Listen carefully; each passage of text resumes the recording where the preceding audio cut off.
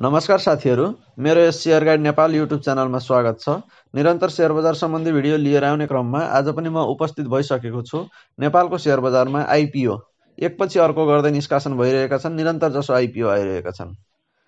आजको भिडियोमा मैले छलफल गर्न गइरहेको विषयहरू भनेको आइपिओ भनेको के हो? आइपिओ भनेको के हो अनि कस्तो किसिमले आइपिओ निष्कासन गर्न पाउँछन्? कम्पनीले आइपिओ पहिलोपटक निकाले पश्चात पुनः आइपिओ निकाल्न पाउँछन् कि पाउँदैनन्? अनि त्यस्तै गरी आइपिओ कतिसम्म मूल्यमा निकाल्न पाउँछन्? यी र यस्तै आइपिओ सम्बन्धी नितान्त बेसिक कुराको बारेमा छलफल गर्न गइरहेको छु। नयाँ लगानीकर्ताहरू अनि गएर बजारको हल्लामा आइपिओ आइपिओ भन्ने हल्ला सुनिरहेको तर आइपिओमा आवेदन दिन नसकिरहेको अथवा त्यो सुरुको लगानीकर्ता जुन छ आइपिओमा प्रवेश गर्न इच्छुक भएको लगानीकर्ता ती लगानीकर्ताहरूका लागि आजको भिडियो महत्त्वपूर्ण हुनेछ। तसर्थ पनि आजको भिडियो अन्तिमसम्म हेरेर साथ दिनुहोला अनि हाम्रो यस सेयर गाइड नेपाल युट्युब च्यानलमा पहिलोपटक भिजिट गर्दै हुनुहुन्छ भने च्यानललाई सब्सक्राइब गरी छेउमा आउने बेलायकनलाई प्रेस गर्न पनि नभुल्नुहोला अनि ढिला नगरी सुरु गरौँ आजको विषयवस्तुहरू पछिल्लो समय सेयर बजारमा प्रवेश गर्ने लगानीकर्ताको सङ्ख्या उल्लेख्य रूपमा बढेको छ। लगानीकर्ता संस्थाका रूपमा नयाँ नयाँ कम्पनीको प्रवेश पनि बढ्दो नै रहेको छ। तर आकर्षण बढ्दै गए पनि धेरैजसो आइपिओ कसरी भर्ने अनि सेयर बजारमा कसरी प्रवेश गर्ने भन्ने भएर अन्यल देखिन्छ। अनि आइपिओ जसलाई इनिसियल पब्लिक अफरिङ अर्थात् प्राथमिक सेयर पनि भनिन्छ पछिल्लो समय आइपिओ भर्नका लागि लगानीकर्तालाई उत्साहित बनाउन मर्चेन्ट बैङ्कहरूले पनि विभिन्न खालका प्याकेजहरू ल्याइरहेका छन्।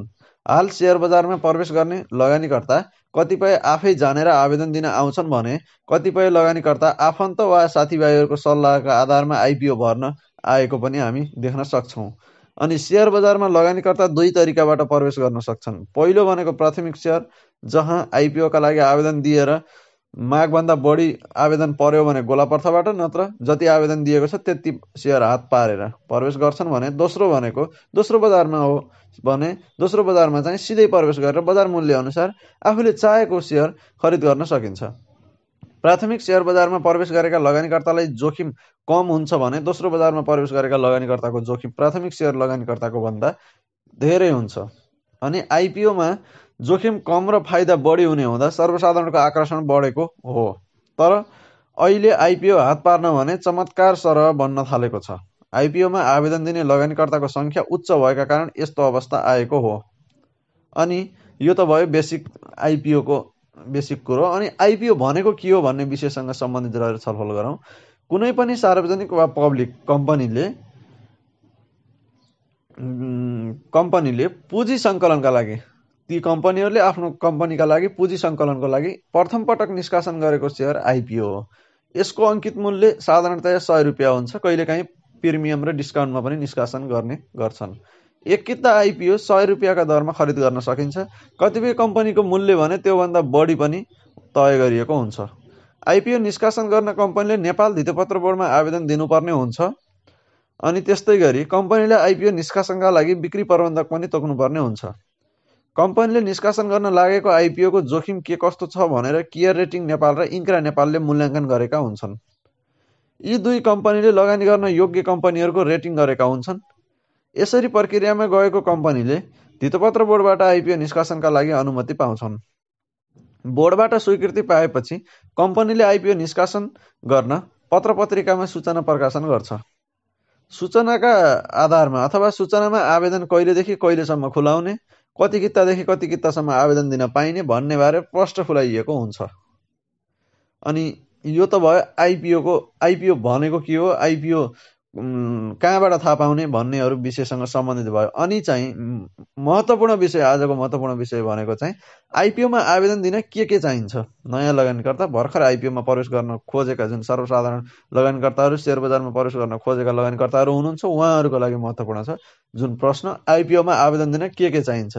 पहिलो नम्बरमा भनेको बैङ्क खाता नै आवश्यक पर्छ। आइपिओ भर्न सबैभन्दा पहिले लगानीकर्तासँग कुनै पनि बैङ्कको खाता हुनुपर्छ। बैङ्क खाता नभई यसपछिका प्रक्रियाहरू अघि बढाउन सकिँदैन। यदि बैङ्क खाता छैन भने पहिले बैङ्कमा गएर खाता खोल्नुपर्छ। दोस्रो महत्त्वपूर्ण पोइन्ट भनेको डिम्याट खाता। लगानीकर्ताले बैङ्क खाता खोलिसकेपछि डिम्याट खाता खोल्नुपर्ने हुन्छ। लगानीकर्ताले बैङ्क खाता खोलेको बैङ्क धितोपत्र दलाल कम्पनी ब्रोकर वा मर्चेन्ट बैङ्कहरूमा गएर पनि डिमेट खाता खोल्न सकिन्छ। तर हामीहरू प्राय गरीले आफ्नो बैङ्क खाता जुनमा छ त्यही ब्याङ्कमा गएर डिमेट खाता खोलेका छौँ। अनि डिमेट खाता भनेको सेयर राख्ने खाता हो। बैङ्कमा पैसा राख्नका लागि बैङ्क खाता खोले जस्तै सेयर राख्नका लागि डिमेट खाता खोल्नु पर्छ यसरी बैङ्क खाता पनि डिमेट खाता खोलेका लगानीकर्ताले कुनै पनि कम्पनीको आइपिओ खोलेको बेला बैङ्क वा मर्चेन्ट बैङ्कमा गएर एउटा फारम भरेर आइपिओमा आवेदन दिन सक्छन्। कोरोना महामारी पश्चात धेरैजसो सेयर कारोबारको काम विद्युतीय माध्यमबाट हुने गरेको छ। यसले गर्दा अहिले बैङ्कमा गएर आइपिओ भर्नेको सङ्ख्या पनि न्यून हुँदै गएको छ। अनि अनलाइनबाट आवेदन दिनको लागि तेस्रो नम्बरमा चाहिने भनेको मेरो सेयर। मेरो सेयर पनि सेयर बजारमा अनलाइनबाटै लगानी गर्न लगानीकर्ताले डिमेट खाता खोलिसकेपछि मेरो सेयर सुविधा लिनुपर्छ। यो पनि ब्याङ्कबाटै मिल्छ। मेरो सेयरको सुविधा मार्फत लगानीकर्ताले घरमै बसेर आइपिओ भर्न सकिनेछ। अहिले बैङ्कमा गएर डिमेट खाता खोल्दा नै मेरो सेयरको पनि फारम भर्न पाइन्छ। मेरो सेयरको फारम भरेपछि इमेलमा युजर आइडी र पासपोर्ट प्राप्त हुन्छ। मेरो सेयरको आइडी र पासवर्ड लिएपछि लगानीकर्ताले आफ्नो मोबाइल तथा कम्प्युटरबाट आइपिओका लागि आवेदन दिन सक्छन्। अनि चार नम्बरमा चौथो महत्त्वपूर्ण पोइन्ट आइपिओ भर्नका लागि आवश्यक पर्ने पोइन्ट भनेको सिआरएन नम्बर। सिआरएन नम्बर मेरो सेयरबाट आइपिओमा आवेदन दिन सिओसमा सिआरएन दर्ता गर्नु पर्दछ यसका लागि बैङ्कमा गएर सिआरएनको फारम भर्नुपर्छ। फारम बुझाएपछि बैङ्कले सिआरएन नम्बर दिन्छ। आइपिओमा आवेदन दिने बेला सिआरएन नम्बर राख्नुपर्ने हुन्छ। सिआरएन नम्बर जुन बैङ्कको छ त्यो बैङ्कको खातामा भएको पैसाबाट आइपिओका लागि आवेदन दिने हो। यदि खातामा पैसा नभएको बैङ्कको सिआरएन नम्बर राखेको खण्डमा आइपिओको आवेदन नै रद्द हुने गर्छ। अनि आइपिओ परेको कसरी थाहा पाउने? यो पनि प्रश्न महत्त्वपूर्ण। आइपिओमा आवेदन त हामीले दिइसक्यौँ त्यहाँसम्म चारवटा पोइन्टबाट पुगिसक्यो। पहिलो भनेको बैङ्क खाता चाहियो दोस्रो भनेको डिमेट खाता चाहियो तेस्रो भनेको मेरेसा चाहियो चौथो भनेको सिआरए नम्बर चाहियो यति भइसके पश्चात हामी आइपिओका लागि आवेदन दिन योग्य हुन्छौँ। अनि आइपिओमा आवेदन दिए पश्चात त्यसको रिजल्ट कसरी हेर्ने? परेको या नपरेको कसरी थाहा पाउने? भन्दा मेरो share dot CDSC dot com dot NP खोलेर वा मोबाइलमा मेरो सेयर एप डाउनलोड गरेर युजर आइडी राख्नुपर्छ।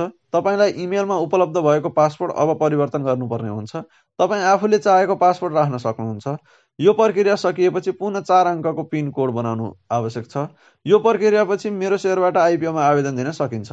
त्यसपछि माई आसमा ब्लगमा क्लिक गरिसकेपछि connect issue apply for issue अनि एप्लिकेसन रिपोर्ट र होल्ड एप्लिकेसन रिपोर्ट लेखिएको हुन्छ त्यहाँभित्र। अनि अप्लाई फर इस्युमा क्लिक गरेपछि कुन कम्पनीको आइपिओ खुलेको छ त्यहाँ देख्न सकिन्छ। यसपछि त्यहाँ भएको कम्पनीमा बैङ्क छानेपछि बैङ्क शाखा र खाता नम्बर आफै आउँछ। अब तपाईँको इच्छा अनुसार अप्लाई कितामा गएर कति किता भर्ने हो त्यहाँ नम्बर राख्नुपर्छ। अनि भर्न चाहेको किता राखेपछि आफै रकम देखाउँछ। रकमभन्दा तल बैङ्कबाट लिएको सिआरएन नम्बर राख्नुपर्छ। त्यहाँ शर्त राखिएको हुन्छ। टिक लगाएर अनि प्रोसेसिङ गरेपछि चार अङ्कको पिन नम्बर माग्छ। त्यो पिन नम्बर हालेर ओके गरेपछि तपाईँको आइपिओ स्वीकृत भएको सङ्केत त्यहीँ आउँछ। तपाईँले आवेदन दिएको बारे एप्लिकेसन रिपोर्ट भन्ने अप्सनमा गएर हेर्न पनि सकिन्छ। अनि यो भिडियोका आधारमा तपाईँहरू सर्वसाधारण जुन तपाईँ हामी जुन दोस्रो बजारमा प्रवेश गर्न इच्छुक लगानीकर्ता हुन्छौँ अथवा केही थाहा नभएको तर थाहा पाउनको लागि कुन माध्यमबाट पाउने थाहा जानकारी पाउने त भन्ने लगानीकर्ताहरूको लागि आजको भिडियो एकदमै महत्त्वपूर्ण हुनेछ। यस भिडियोको मार्फत दोस्रो बजारमा नभएर यो प्राथमिक बजारमा लगानी गर्न चाहने इच्छुकहरू इच्छुक लगानीकर्ताहरूको लागि यो भिडियो महत्त्वपूर्ण हुनेछ। अनि आजको भिडियो हजुरहरूलाई कस्तो लाग्यो? जस्तो लाग्यो त्यस्तै सल्लाह सुझाव अनि प्रतिक्रिया दिन नभुल्नुहोला। अनि आजको लागि भिडियो यति नै रहेको छ। हस्त साथीहरू धन्यवाद।